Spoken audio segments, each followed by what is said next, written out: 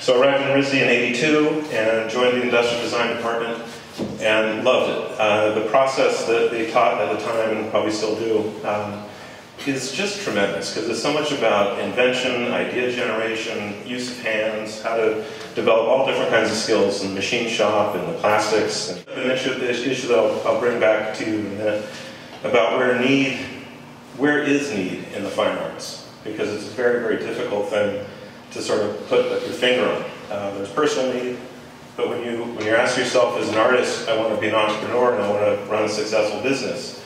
First question is, well, what's the need?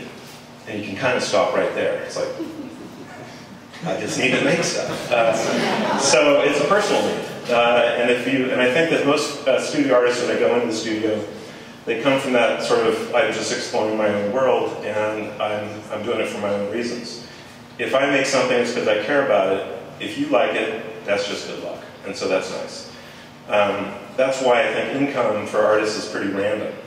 Uh, versus if you, and I'm kind of trying to puzzle this thing through, is if you try and take this idea of need uh, in this more abstract sense, um, and how do you define that in a way that you can address need uh, in people? Um, so as a sculptor and an artist, it's, it's a very abstract place that you go to. And I've sort of morphed through the years. It's been as much a process of elimination and exploration in terms of how to bring the dollars in. So in the beginning it was freelance, rendering, model making. Then it was furnishings, metal furnishings, uh, ICFF, 89 and 90. Uh, Dee would go to the craft shows with a box about this big, and it'd be worth about forty, fifty thousand dollars. I'd have to rent a very big van that's worth half that. And half of it would sell, and half of it wouldn't. And I looked at Dee and I said, you've got something going on. with Uh, small's not so bad. So I, uh, I decided, and it, it, did begin with the Dinobite, uh, this little bottle opener in 1989. Uh, it's a little functional bottle opener, and I decided to change the business from large furnishings to small little products. And in that case, it was because in the craft market, I recognized, I asked, what do the galleries need? And I sort of realized that they're the buyers. They come and they buy at the craft shows and the wholesale days that they needed a nice little gift under 100 bucks. Under 50 is even better. And so I just came up with the little Dinobite. I decided to make small things, use a cottage industry model, use all the different jewelry suppliers in, in Rhode Island, and developed what turned into be a line of about 65 products, and quite a few more of that if you added all the color variations. So we had soap dishes, all the tabletop stuff, letter openers, bottle openers, uh, picture frames using epoxy resin, spin cast, uh, gravity fed, all different kinds of stuff. Uh, and that was about a 10 year preoccupation.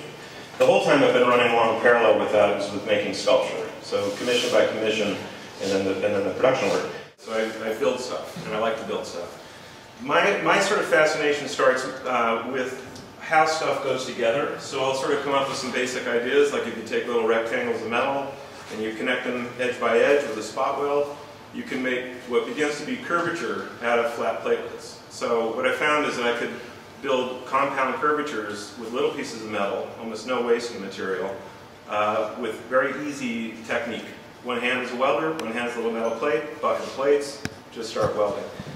The, um, so the context that I'm working in is site-specific uh, sculpture of sort of the process of elimination, furnishings, tabletop, freelance, all the rest of the stuff has brought me to site specific and it, it needs me sort of, it's the perfect match because what I love about it is you, well in contrast to production and the, the gift collection, you come up with your fun new ideas and then you really just need to run the business. You got to do the trade shows, you got to work on the manufacturing and production, and it very quickly becomes a sort of cycle. And you just have to keep feeding the beast and going back to the trade shows and having the new ideas. That wore me out after a while. What I love about the site-specific work is you have a new site, a new group of people, a new reason to sort of justify the work, and it all happens in six months to a year. So you go from the very ephemeral to the very delivered in that amount of time. And it, the, the, projects that I've done recently have ranged from uh, an ark and a yahrzeit memorial for a Jewish temple, the, the temple Beth Elohim in Wellesley, Mass. I'm a Catholic kid, I knew nothing about the, the traditions.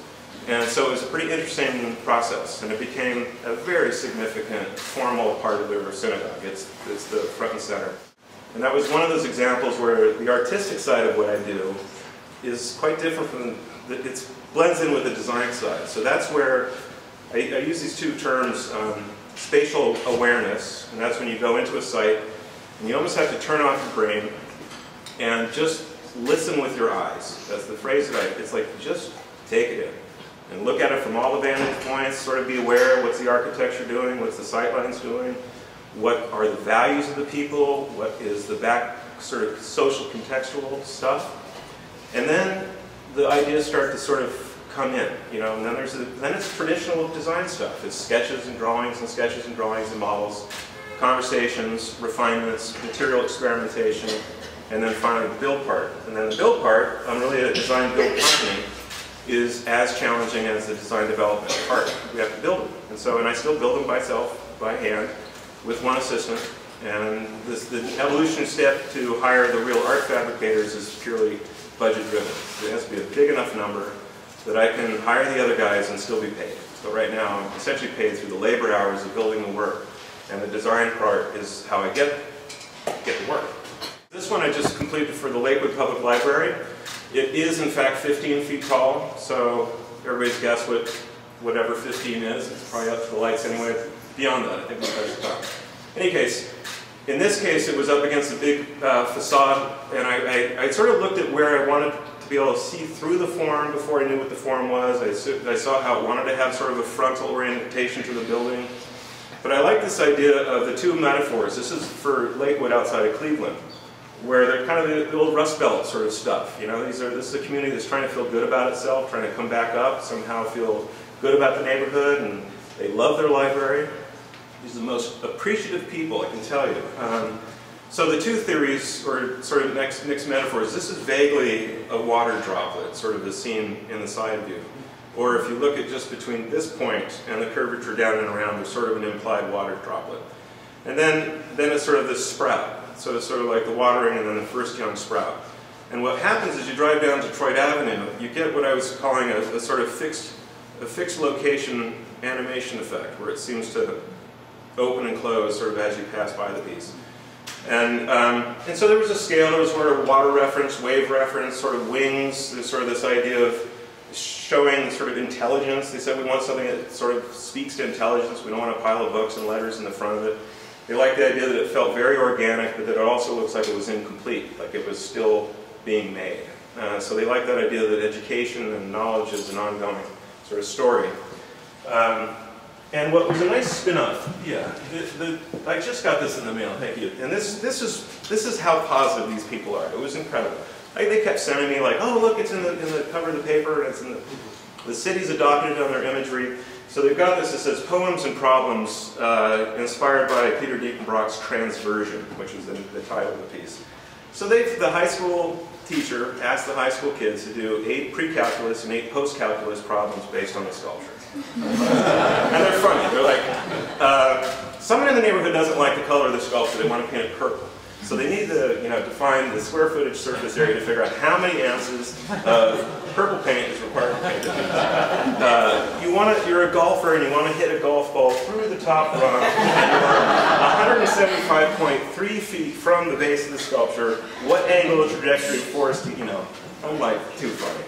Then, uh, and then they had a, a, poetry contest. So they, they invited all the, all the people in the, in the town to write poems. And it was like a pretty great example, I guess, of where, like, how does public art reach the community?